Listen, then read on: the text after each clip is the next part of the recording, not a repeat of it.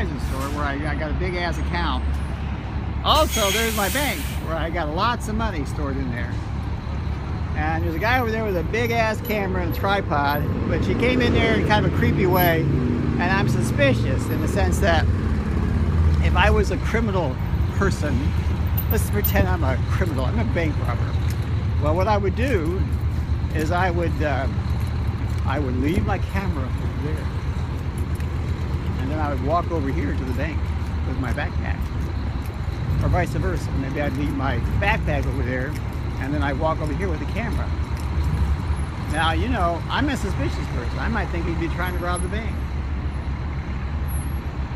I don't know. All I know is when it gets to be the end of the month, people will do almost anything for drugs and money.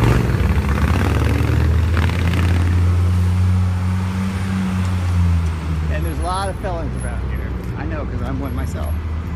You're a convicted felon? Yes. I'm an armed robber. You ever did time? Not much. So anyway, I don't know. I gotta see where the voodoo is. The voodoo is on me. Oh my god. It's that dude.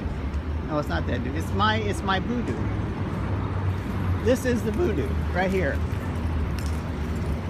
This is a marker. This, my friends, is a marker right there. That tells everything. Everything you need to know about about business that might occur today and tomorrow, might be newsworthy, is right there. Is right there. See? See?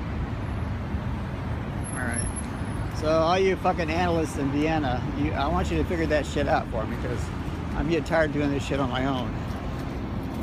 I mean, I'm not like a one mind one one. I'm not a one person agent. I mean, I'm I'm not like God.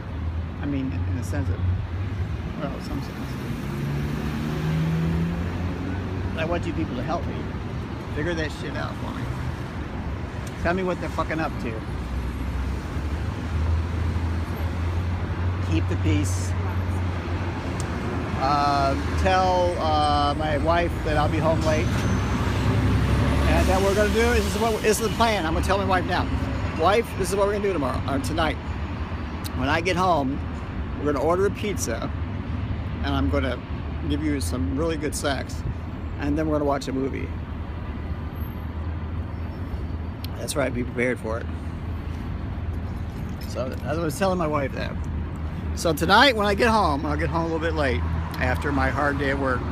I'm gonna um, order pizza. I'm gonna have them deliver it.